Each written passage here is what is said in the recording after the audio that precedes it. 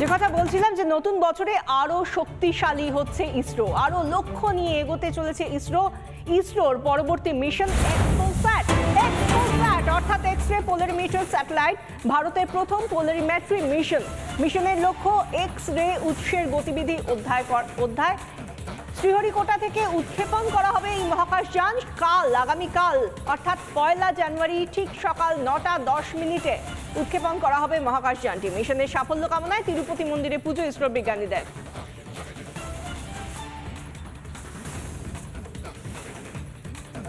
তিরুপতি মন্দিরে পুজোর ছবি আমরা দেখতে পাচ্ছি ইসরোর বিজ্ঞানীরা সেখানে পুজো দিয়েছেন।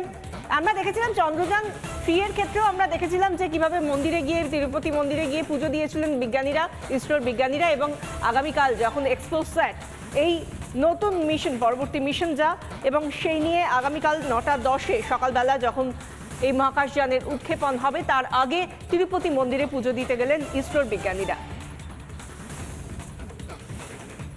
আমাদের সঙ্গে এই মুহূর্তে সরাসরি রয়েছেন আমাদের সঙ্গে মহাকাশ বিজ্ঞানী শান্তনু ভৌমিক। শান্তনুবাবু, আপনাকে স্বাগত জানাব। প্রথমেই নতুন বছরের জন্য আগাম শুভেচ্ছা জানাই এবং সেই সঙ্গে একজন মহাকাশ বিজ্ঞানী আপনি। সেই জায়গা থেকে এক্সপো স্যাট নিয়ে আমাদের একটু বিস্তারিতভাবে যদি বুঝিয়ে দেন এবং পোলারিমেট্রি এই বিষয়টা নিয়ে আমাদের দর্শকদেরও জানার আগ্রহ রয়েছে। এই বিষয়টা একটু যদি আমাদের মতো করে, সাধারণ মানুষের মতো করে বুঝিয়ে বলেন। প্রথমে হচ্ছে যে একটু আগে বুঝিয়ে বলতে হবে যে ব্ল্যাক হোলটা কি? ব্ল্যাক হোল হচ্ছে স্পেসে এরকম একটা জায়গা বা রিজিয়ন যেখানে স্পেস অ্যান্ড টাইম যেখানটাতে একটা জায়গা জুড়ে রয়েছে এবং সেখানে যদি কোনো এনার্জি বা কোনো যদি লাইট এ সমস্ত যদি ওখানে প্রবেশ করে, ওটা আর বেরিয়ে আসতে পারে না। এবং এটা যে সোর্সটা কি? মানে কীভাবে ব্ল্যাক হোলটা হচ্ছে? সাধারণত যেটা বিজ্ঞানীরা গণনা করে বা ক্যালকুলেশন করে দেখেছেন যে যখন কোনো তারা বা স্টার যখন ডেড হয়ে গেল যখন সেখানে আর কোনো এনার্জি নেই, যখন সেখানকার ভলিউমটা স্পেসটা ওখানে জিরো হয়ে গেল, তখনই কিন্তু এই ব্ল্যাক হোলটা ফর্ম করে। এবারে ইসরো যে এই যে এটা পাঠাচ্ছে, এই যে পোলার স্যাটেলাইট লঞ্চ ভেহিকলের মাধ্যমে যে স্যাটেলাইটটা পাঠাচ্ছে, এটা যেটা করতে পারবে সেটা হচ্ছে কি যে ওই গ্যালাকটিক যে ব্ল্যাক হোল তার যে বাইনারি সোর্স মানে সোর্সটা কি করে হচ্ছে ওই ব্ল্যাক হোলের সেটাকে আইডেন্টিফাই করতে পারবে। এবং তারপরে যেটা করতে পারবে যে সেটা হচ্ছে যে ওখানকার যে ম্যাগনেটিক ফিল্ড সেটা কি অবস্থায় রয়েছে?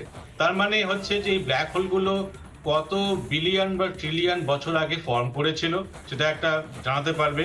সেকেন্ড হচ্ছে যে এটা আরও কত বছর থাকবে এবং এই ব্ল্যাক হোলগুলো কেন হচ্ছে, কীভাবে হচ্ছে, এবং যখন ব্ল্যাক হোলগুলো যখন শেষ হয়ে যাবে এটা স্পেসে তার কি ইম্প্যাক্ট ফেলবে? ফলে কালকের যে এই যে লঞ্চিং যেটা হবে ইসরো থেকে, এটা ভারতবর্ষ প্রথম করছে, ইসরো প্রথম করছে।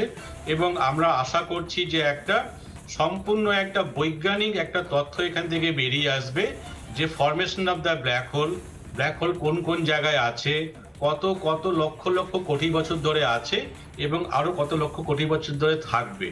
এবং এই যে গবেষণাটা হচ্ছে, এটা যদি আমরা সম্পূর্ণভাবে তথ্যভিত্তিক জানতে পেরে যাই তাহলে আমরা সেখান থেকে বুঝতে পারব যে এই যে ইউনিভার্সটা কত বছর আগে হয়েছিল এবং আরও আরও কত লক্ষ লক্ষ কোটি বছর ধরে থাকবে।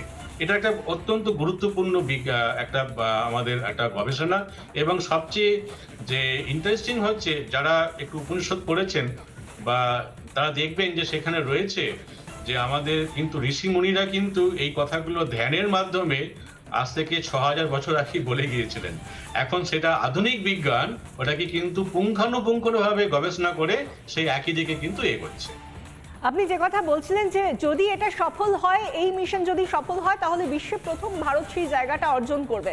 সেটা কতটা চ্যালেঞ্জের কারণ এই যে আপনি যেটা বললেন অ্যাকচুয়ালি না অ্যাকচুয়ালি নাসা কিন্তু বা ইউএসএ কিন্তু আগে এটা করেছে ওরাও করেছে। এবং আমরা কিন্তু ভারতবর্ষ এটা আমরা প্রথম করছি। মানে ব্যাপারটা খুবই চ্যালেঞ্জিং কারণ মনে করুন, যে পরিমাণ মানে স্ক্যাটারিং যে লাইটটা ওখানে যাবে, সেটা কিন্তু ওখানে ভেতরে, ওইটা কিন্তু ভেতরে ঢুকতে হবে ব্ল্যাক হোলের এবং এই ব্ল্যাক হোলের ভেতরে ঢুকে যে ওইখানকার যে ইমেজটাকে যে প্রসেস করে আনবে, এটা কিন্তু সত্যি খুব চ্যালেঞ্জিং টাস্ক তবে যেহেতু এটা অনেক বছর ধরে গবেষণার মাধ্যমে এটা হয়েছে, তা আমরা কিন্তু আশাবাদী যে এটাও ইসরো সাকসেস মানে সফলভাবে করে ফেলতে পারবে। এবং ভারতবর্ষের জ্যোতির্বিজ্ঞান বা মহাকাশ বিজ্ঞানে একটা নতুন দিগন্ত কিন্তু আবার খুলতে চলেছে।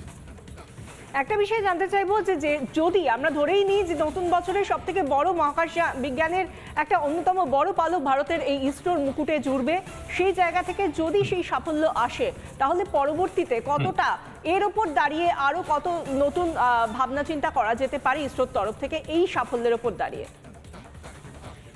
দেখুন, একটা হচ্ছে সাফল্য হচ্ছে যে এই যে মানে ব্ল্যাক হোল যে কতগুলো রয়েছে হ্যাঁ এই মহাবিশ্বে, এটা এখনও কিন্তু আমরা মানে অঙ্কের মাধ্যমে আমরা যতটুকু জেনেছি, কিন্তু প্র্যাকটিক্যালি আমরা জানতে পারি বা আমরা আমরা জেনেছি মানে কোনো একটা থিওরির মাধ্যমে। কিন্তু এটা যদি আমরা সাকসেস হতে পারি, তাহলে কিন্তু হয়তো বলতে পারবে যে ইসরো একটা সময় যে এই মহাবিশ্বে এতগুলো ব্ল্যাক হোল আছে। মানে মানে কোয়ান্টিটি কোয়ান্টিফাই করতে পারবে। এবং যেটা কিন্তু একটা মানে মহাকাশ বিজ্ঞানে কিন্তু সত্যি একটা নতুন দিগন্ত খুলতে যাবে যদি আমরা এটাকে সত্যি কোয়ান্টিফাই করতে পারি। অর্থাৎ আপনি বলতে চাইছেন যে যেটা এখনও পর্যন্ত অজানা যেটা এখনও পর্যন্ত বিভিন্ন সময় অনুমান করা হয় তার সংখ্যা সংখ্যার নিরিখে কতগুলো ব্ল্যাক হোল রয়েছে মহাকাশে সেটা পর্যন্ত বলে দেওয়া যাবে হ্যাঁ। এই এক্সপোসাট মিশনের মধ্যে দিয়ে। হ্যাঁ হ্যাঁ হ্যাঁ।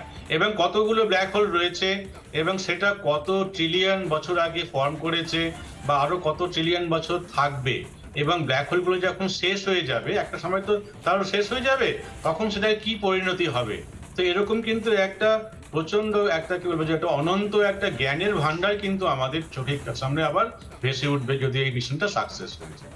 এবারে একটা বিষয় আপনার কাছ থেকে জানতে চাই, আপনি এতক্ষণ জ্যোতির্বিজ্ঞান বা মহাকাশ বিজ্ঞানের সাফল্যের কথা বলছিলেন যে এই মিশন যদি সাকসেসফুল হয়, তাহলে মহাকাশ বিজ্ঞানের অধ্যয়নের ক্ষেত্রে, পড়াশোনার ক্ষেত্রে কতটা কি উপকার হতে পারে সেই নিয়ে কথা বললেন। কিন্তু মানব জাতির ক্ষেত্রে, ভারতবাসীর জন্য, এটার জন্য কি হতে পারে যদি এই সাফল্য আসে? তাহলে সামগ্রিকভাবে দেশের মানুষের জন্য কি ভালো দিক থাকছে? আচ্ছা এবার এটা এটা এটা কিন্তু একটা কমার্সের প্রশ্ন। তো কমার্সের প্রশ্ন হচ্ছে, দেখুন, আমাদের যখন স্যাটেলাইটগুলো যখন পাঠানো হবে কালকে, সতীশ ধাবান স্পেস সেন্টার থেকে, ওটা তো ইন্ডাস্ট্রি তো ওটাকে বানাচ্ছে। মানে বিভিন্ন ইন্ডাস্ট্রি এখানে ইনভলভ রয়েছে। এবার মনে করুন, যে ক্যামেরাটা তৈরি হচ্ছে বা যে স্পেস ক্র্যাফটটা তৈরি হচ্ছে সবই কিন্তু মেটেরিয়ালস দিয়ে তৈরি হচ্ছে। এখানে কিন্তু ভারতবর্ষের অর্থনীতিকে ভীষণভাবে সাহায্য করবে যে যেহেতু আমাদের এখানকার ইঞ্জিনিয়ার এটা তৈরি করবে এখানকার ফ্যাক্টরি তৈরি হবে এটা। যার জন্য কিন্তু এই যে যদি এটা এটা যে সফল হয়ে যায় এবং যদি এটা যদি আরও অনেক আমাদের যদি সংখ্যা বাড়াতে থাকে যে আমরা আরও হয়তো স্পেসকে পাঠালাম তাহলে কিন্তু আমাদের যে গ্রাউন্ডে যে ইঞ্জিনিয়ারিং যেটা সেটা কিন্তু ভীষণভাবে একটা সাপোর্ট পাবে। এবং সেখানে কি হবে যে ইন্ডিয়ান ইকোনমিকে কিন্তু এটা আপনি বলছেন মহাকাশ বিজ্ঞান চর্চার ক্ষেত্রে এবং মানুষের উন্নয়নের স্বার্থেও ভারতের জন্য বড় একটা দিগন্ত হ্যাঁ, খুলে যাবে। হ্যাঁ, হ্যাঁ। অনেক ধন্যবাদ আপনাকে আমাদের সঙ্গে কথা কথা বলার জন্য। মহাকাশ বিজ্ঞানী শান্তনু ভৌমিক ছিলেন আমাদের সঙ্গে সরাসরি।